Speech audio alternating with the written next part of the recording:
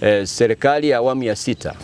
Ahadi zake za kusema kwamba tuna, tutakwenda kuendeleza jitihada kubwa ambazo zilikuwa zinafanywa na awamu ya, ya tano tumezidhihirisha na zinaonekana wazi kwamba katika kipindi ambacho Mheshimiwa eh, eh, Rais wetu Mama Samia Suluhu Hassan alipotoa hiyo ahadi na kama walivyosema wenzangu hapa wataalamu mbalimbali kwamba tulikuwa na tatizo la, la, la lililotuzuia sasa kutokana na masuala ya, ya utalii kwenda ya kisuasua kutokana na wimbi lile la korona, lakini baada ya hapo tu e, Mheshimiwa Rais ameanza kutiririsha fedha kuja kwenye huu mradi. Huko e, e, muda uliokuwa umepita uh, mradi huu ulishapokea shilingi e, fedha takriban shilingi milioni mia saba zikawa zinaendelea kufanya kazi na toka jana na juzi tulikuwa tunaendelea kufanya mawasiliano na wenzetu, lakini nataka niwathibitishie kwamba zimeshapokewa tena shilingi milioni mia nne e, milioni mia nne na themanini kwa ajili ya kuendeleza huu mradi. Kwa hiyo kasi sasa ya uendelezaji wa huu mradi utaendelea kufanyika, na ukiona baada tu ya matukio haya, basi karibu shilingi bilioni moja na nukta moja zimekwisha patikana kwa ajili ya kuendeleza hizi shughuli za ujenzi wa mradi.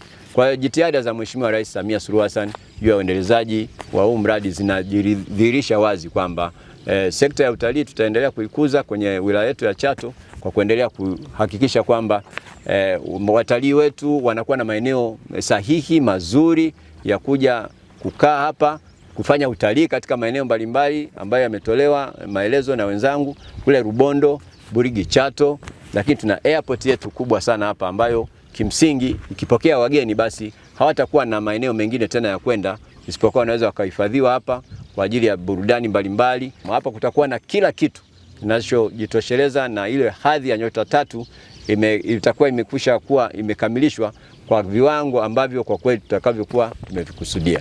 Mradi wetu huu kama tulivyosema na mkandarasi amesema, na sisi serikali tuko makini sana kuhakikisha kwamba tunaendelea kufuatilia ujenzi wa mradi na kwa sababu hapa katikati walikuwa wamepungukiwa na fedha na fedha zimeingia jana au juzi. Kwa hiyo jitihada sasa za kuendelea na ujenzi sasa zitaendelea ku, kuendelea na kimsingi eh, mradi wetu kama ambavyo umekwisha zungumza na sasa hivi fedha zinaanza kutiririka. Mradi wetu unaweza ukachukua takriban eh, bilioni kumi na moja ili uweze kukamilika kiujumla. Kwa hiyo hatua hizi ambazo serikali inaendelea kuzi, kuzi, kuzileta fedha zitathibitisha kabisa kwamba uwezekano wa kukamilisha mradi huu upo na sisi kwa niaba ya e, wilaya tunathamini sana mchango mkubwa wa ujenzi wa sekta ya utalii kwenye wilaya yetu ya Chato ambao umefanywa na Mheshimiwa Rais Samia Suluhu Hassan kwenye sekta yetu ya, ya utalii. Mradi huu e, wa ujenzi wa hoteli e, tunajenga hoteli ya hadhi ya nyota tatu ambayo kimsingi hoteli hii itakuwa na vyumba vya kulala thelathini.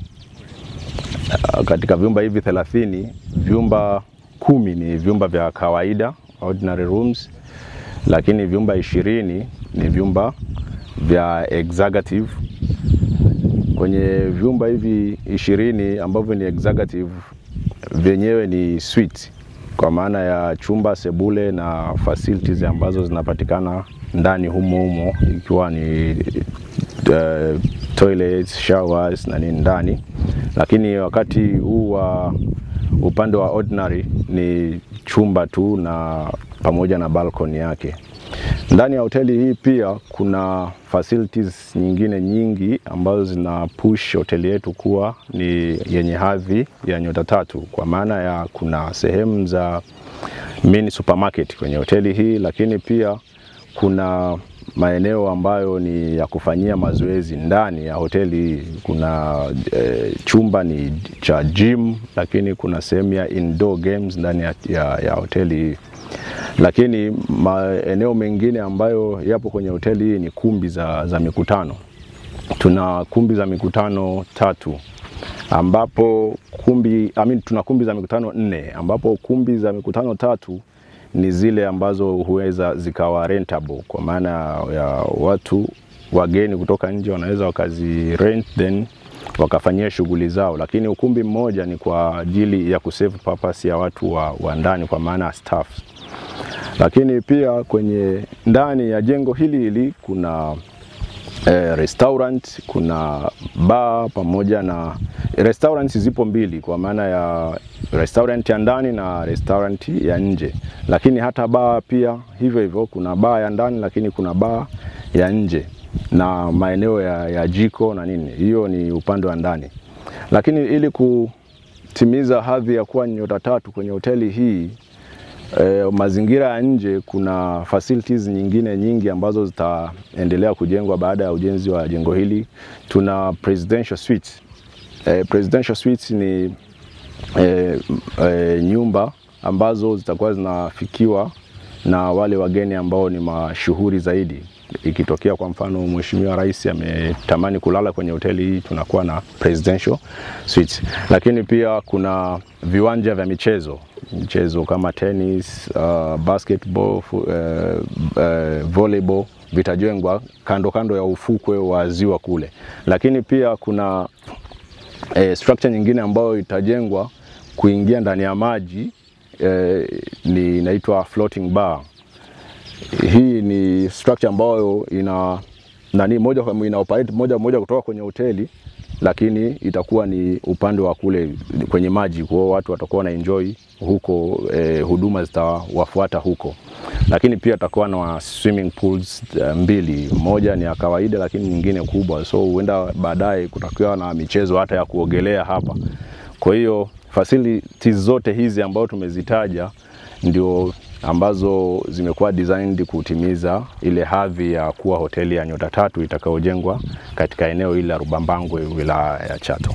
Ujenzi wa hoteli hii ni muhimu sana katika kukidhi mahitaji makubwa ya watalii. Ikumbuke tu kwamba tangu Mheshimiwa Rais wa nchi yetu Dr. Samia Suluhu Hassan alivyozindua albamu ya Royal Tour kumekuwepo na ongezeko na mwitikio mkubwa sana wa wateja watalii kutoka maeneo mbalimbali duniani, lakini pia hata watalii wa ndani. Lakini pia ikumbuke tu kwamba ukanda wa kaskazini tukimaanisha mikoa ya Arusha ndio imejiweka vizuri sana katika swala zima la kuhudumia watalii. Ni kutokana na umuhimu huo ndipo shirika la hifadhi za taifa Tanzania TANAPA lilipoanzisha huu mradi wa kimkakati wa kujenga hii hoteli ya nyota tatu katika hili eneo. Labda kwa nini tunajiuliza kwa nini imejengwa kwenye hili eneo, kwamba eneo hili lina vivutio vingi sana. Kivutio cha kwanza ni ziwa Victoria kama ambavyo mnaliona, lakini pia kuna hifadhi nyingi sana za taifa, tukianza na hifadhi ya taifa ya kisiwa cha Rubondo ambayo iko jirani sana na eneo hili. Pia kuna hifadhi kubwa ya Burigi Chato na yenyewe iko jirani sana na eneo hili, lakini kuna hifadhi zingine ziko mkoa wa Kagera, hifadhi ya Ibandakierwa na Rumanyika Karagwe.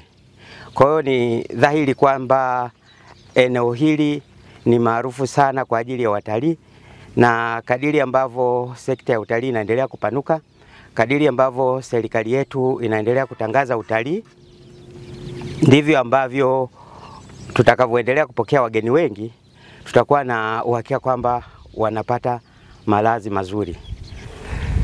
Kwa kweli, kwa kupitia hoteli hii ambayo inajengwa hapa itatupunguzia sana umbali wa kilomita mia mbili karibia na kumi na tano kwa ajili ya kuwaleta wageni hapa.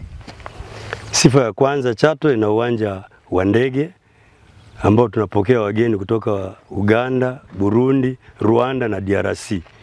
Tukishawapokea hapo ndio tunaanza game, lakini ilikuwa ha hakuna bahati ya kuwa na hoteli nzuri kama hii inayojengwa saa hizi. Hoteli nzuri ya kisasa iko karibu kabisa na ziwa.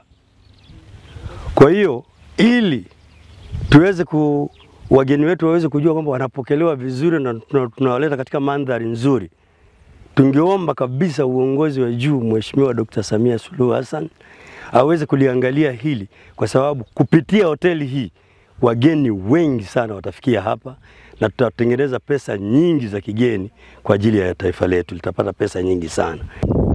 Kwa hiyo nashukuru sana kwa sababu serikali imetukumbuka. Hatujawahi kupata hoteli katika wilaya ya, ya Chato. tunashangaa na sisi kwa sababu ndio kitu cha kwanza ndio tumeanza kuiona hoteli ya namna hii.